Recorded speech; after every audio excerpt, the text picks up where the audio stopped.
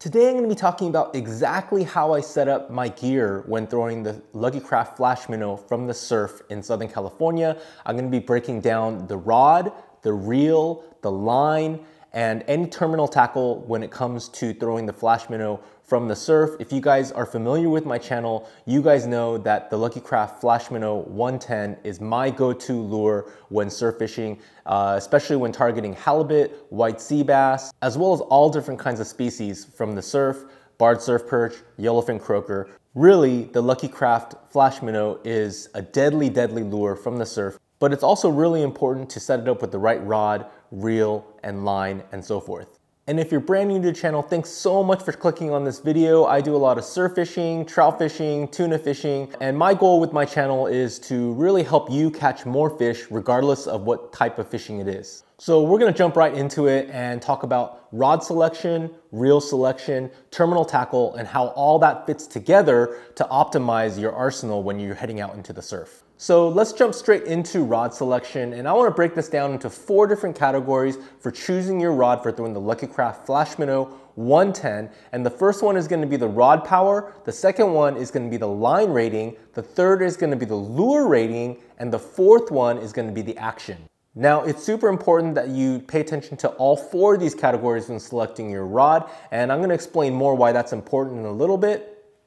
But the first thing that we're going to talk about is the rod power. Now the rod power is separated into different categories, anywhere from ultralight, light, medium light, medium, heavy, extra heavy, so on and so forth. Now a rod's power, or in other words, backbone, refers to the pulling power of the rod and your ability to pull on that rod without breaking it or tiring yourself out as you fight fish. So when it comes to throwing the Lucky Craft from the surf and probably targeting halibut and other surf species, I recommend a medium to medium heavy power. And there are some exceptions to the rules and it's important to note that these ratings are subjective based on rod companies. So I'll be talking a little bit more about that later. But in general, I do recommend a rod that's about a medium or medium heavy for throwing the Lucky Craft Flash Minnow 110 from the surf. The next two categories that we're going to be talking about is the line rating and the lure rating. And these two ratings um, go hand in hand with the power of the rod. And I'm gonna be explaining more about that in a second, but it's super, super important because I can't tell you how many messages that I've received in, over the past couple of years for people that I'm trying to help uh, select their rod. And most people know the power of their rod. They can tell me that it's a medium or a medium heavy, but a lot of people don't pay attention to the line rating and the lure rating. The line rating that I recommend for throwing the Lucky Craft Flash Minnow from the surf is anywhere from 8 to 15 pounds. You can go lighter if you want, but I don't recommend it. Um, 8 pound is even on the lighter side. 15 pound is pretty much as high as I would personally go, but you can go higher, 20, 25 pounds, it's okay. But remember that the Lucky Craft Flash Minnow is a light lure. It's 16.7 grams, so give or take about a half an ounce to cast. And so you really wanna be able to select a rod that's gonna be able to load up and cast that um, flash minnow out there um, without any difficulty. A line rating of about 8 to 15 pounds. A lure rating um, anywhere between a quarter to three quarter would be the sweet spot. Whenever you're selecting a rod and you look at those ratings, you want to you want to select a rod that's going to be right in the middle of those ratings. So if you're looking for something between 8 to 15 pound, you're probably going to be using more than likely about a 12 pound uh, leader or line for throwing the flash minnow. And the reason why it's so important to look at both of these recommendations connected to the power of the rod is not all rods are created equally. For example, I have the Phenix M1 inshore rod right here, and this is actually, believe it or not, a medium light. And the line rating is 10 to 25 pounds and the lure rating is one to three ounces. And so this rod, while it's a medium light, um, the line rating is higher than what I'm recommending um, of the 8 to, 8 to 15 pound, and, but the lure rating is rated through a 1 to 3 ounce. You want something that's going to be a little bit more finesse to be able to load up that, that rod and load up that Lucky Craft and be able to cast it freely and easily into the surf and be able to maximize your casting distance, along with some other things which I'm getting to. So using that as an example, it's really important to look at the rod power, so medium, medium heavy, but don't just run into the shop and get any medium to medium heavy rod because you can grab a rod that's medium or medium heavy and that line might be rated for, you know, 10 to 30 pound, 20 to 40 pound. And the lure rating, as you see on the M1, could be one to three ounces when the flash minnow comes in at about half an ounce. So you wanna look at all three of those things when choosing your rod. And then lastly, but definitely not least, is the action of the rod. And I recommend a fast action when it comes to throwing the Lucky Craft from the surf. And the action refers to where on the rod the rod bends. And so a fast action or extra fast action is gonna bend closer to the tip of the rod, and then a moderate to slow action is gonna bend closer to the middle of the rod. I recommend a fast action rod because uh, when throwing something like the Lucky Craft Flash Minnow as a jerk bait, you really want that sensitivity. And so with the bend occurring closer to the tip, it's gonna give you more sensitivity and it's gonna allow you to really feel that lure. And it's important when you're retrieving the Lucky Craft to be in tune with the lure, to feel the vibrations of that lure. And a fast action is really gonna help you do that. And when you do get bit, it, the fast action is gonna allow you to get a quicker hook set because it's gonna help the rod shut off a little bit faster uh, compared to a slower action rod where it's bending and shutting off in the middle of the rod. Shutting off refers to when you're fighting a fish or setting a hook where the sweet spot of that bend occurs and when the rod is no longer bending and you're now pulling and fighting, fighting that fish. Now the other reason why a fast action is recommended for throwing the Lucky Craft Flash Minnow is loading up that lure and being able to get good casting distance. A fast action is really gonna allow that lure to load up and, and you're gonna be able to get much better casting distance compared to a moderate action rod where the bend is gonna be in the middle. Um, the lure is too light and it's not gonna load properly if you're using something that bends closer to the middle. So um, a fast action definitely is recommended. And so when it comes to the rod recommendations, the ratings, you can get any rod um, as long as you're within those specifications. So um, you guys know that I love throwing the Phenix Trifecta Lite 903, and that's actually a medium light. I've said it in the past that medium light is a little bit of a misnomer and all ratings are subjective, and that medium light is actually has a decent amount of backbone on it. And if you've seen some of my videos, I've brought in some pretty big bat rays, leopard sharks, a 32 inch halibut, some pretty big white sea bass. And so um, the power, in my opinion, is closer to a medium or a medium heavy than a medium light. And so um, that's why I really love the Trifecta Lite. It has the feel and the sensitivity and the, and the weight of a finesse rod, but it has the power to get the job done on better grade fish. Um, the 903 is rated, has a lure rating of a quarter to three quarter ounces and a line rating of six to 12 ounces or six to 12 pounds. And it's a medium light with the fast action. You know, I never tell people that they have to get the Trifecta 903, but that would be my personal recommendation. It's what I love using. Some people might, might like heavier, something with a little bit more power. You know, they, they have a line rating that's a little bit higher um, and they're just using heavier gear. And as I get into the reels here in a second, you really want your reel choice to correspond to your rod choice. I like light because another aspect of throwing jerk baits from the surf is you gotta have a little bit of repetition and you gotta make, be prepared to make a handful of casts, a rod and reel being light is very, very important to me, which is why I'm recommending a rod to you that's on the lighter side uh, when it comes to hunting fish like halibut or white sea bass uh, from the surf. Now, when it comes to the length of the rod, that might be the first question that people ask me is how long of a rod should I have? Uh, really, in my opinion, that's not that important. You can choose a seven foot rod all the way up to a 10 foot rod. The Phenix Trifecta Lite is a nine foot rod, and you definitely can get a little bit of extra casting distance, in my opinion, if you have all the ratings matched up correctly. The longer the rod, um, you're gonna get a little bit more distance. However, in my opinion, I don't think it's gonna be that big of a difference. Uh, for example, the Lucky Craft, uh, Lucky Craft has a custom limited edition Lucky Craft rod, which I believe believe is no longer in production, but that, that rod comes in at uh, shorter than eight foot. I believe it's like seven foot six or seven foot eight.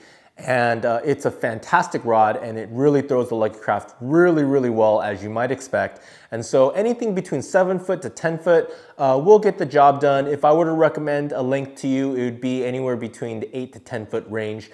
Um, I think you'll be feeling pretty good about your rod choice. So to sum up my recommendation for rod selection when it comes to throwing the Lucky Craft, rod power of medium to medium heavy, a line rating anywhere from 8 to 15 pounds, give or take, um, a lure rating of a quarter to three quarters, and a, and a fast action rod.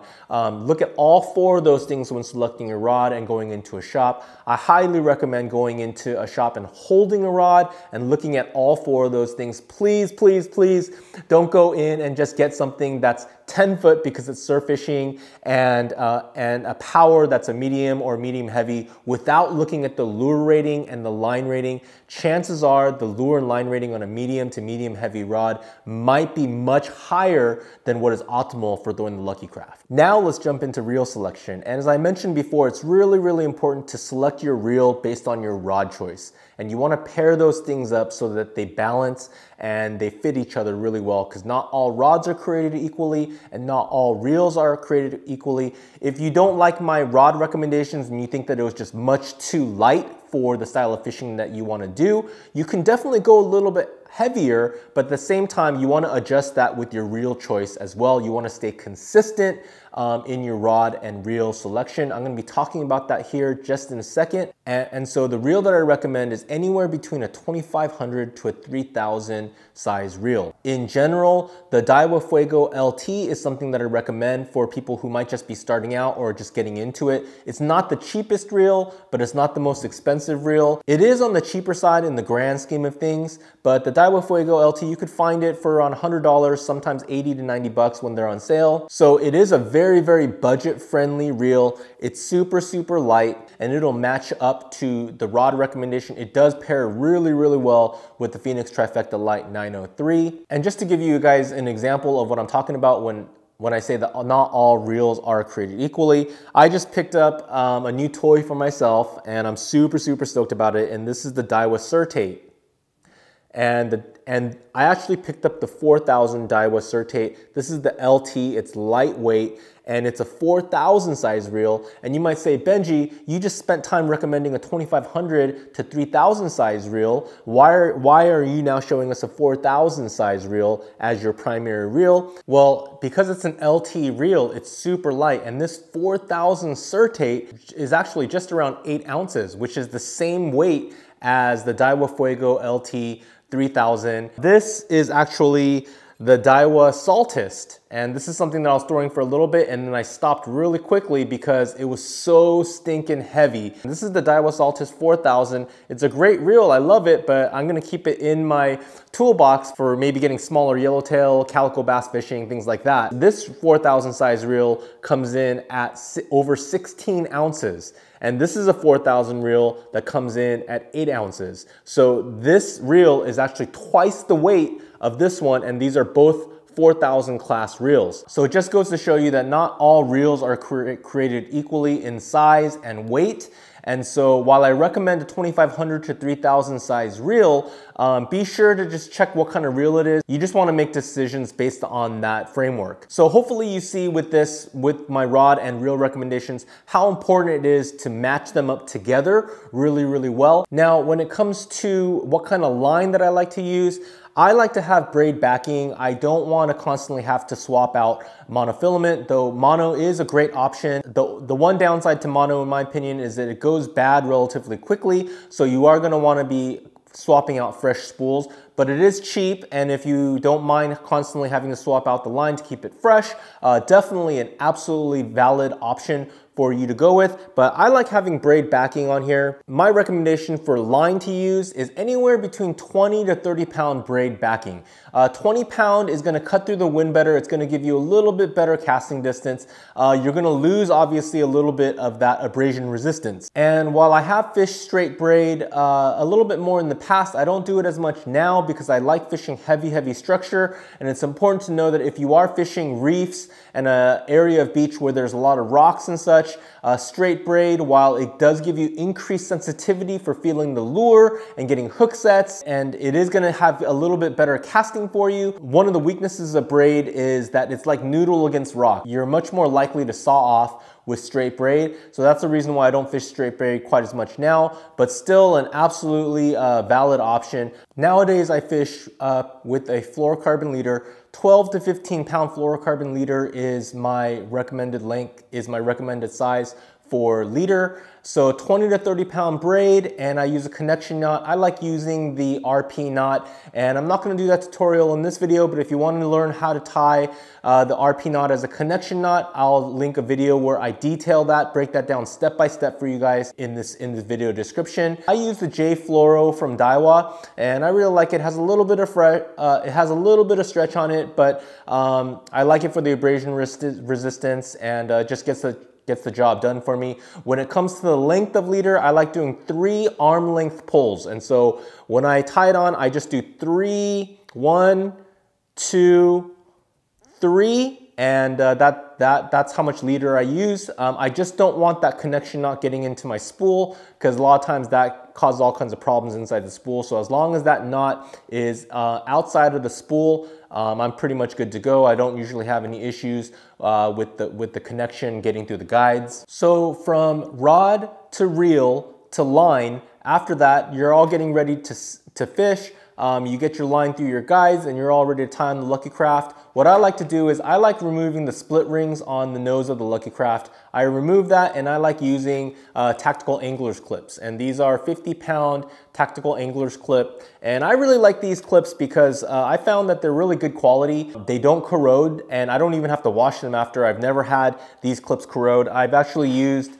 um, some knockoff clips and they work fine functionally, but after I use them one time, um, even after I rinse them, I find that they're corroding and they get all rusty super, super fast. These clips, unless I lose them, I can use them over and over again. The reason why I really like using the clip for that is it allows me to swap out Lucky Crafts while I'm fishing. I pack really minimalist when I'm surf fishing with the Lucky Craft. I tie the tactical angler's clip with the Palomar knot and, uh, and I attach it directly to the Lucky Craft and I'm good to go. But this is all my gear and how I set up uh, when I'm fishing with the Lucky Craft. And if you're just starting out surf fishing and you really wanna learn about how to read the beach, check out this video right here. I'll have many more videos on Lucky Craft coming out. Thanks so much. And as always, tight lines.